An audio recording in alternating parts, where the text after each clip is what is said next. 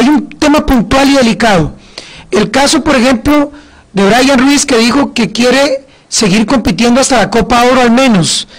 Eh, es un tema clave con él y, me parece delicado. Es el capitán recién de la selección y demás. Él, por ejemplo, ¿es considerado todavía en el plano de selección para estos partidos?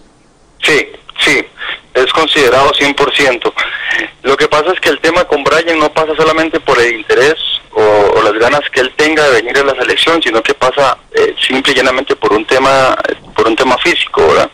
No puedo dar mucha información de esto todavía, pero bueno, para nadie fue un secreto que Brian en el mundial tuvo algunos problemas. Eh, eh, y él lo dijo, él lo dijo abiertamente.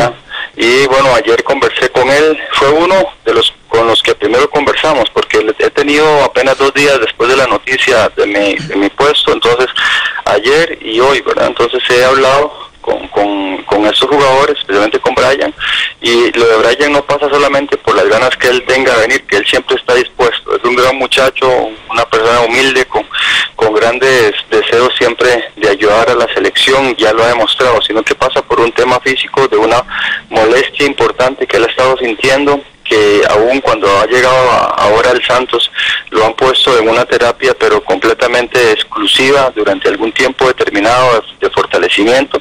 Entonces no podría decirle si Brian va a estar o no hasta que ya yo eh, vuelva a hablar con él, pasen unos días para ver cuál ha sido su evolución. Pero sí, yo lo tomé en cuenta él, evidentemente. Y, igual el mismo caso con Keylor, ¿verdad? Exactamente lo mismo, que son jugadores que son referentes, que son importantes eh, y que ellos son eh, la guía para que los que vamos a convocar a la par de ellos tengan esa ese ese liderato ese o ese esa forma de ser líder y de dirigir al equipo de la selección como estandarte.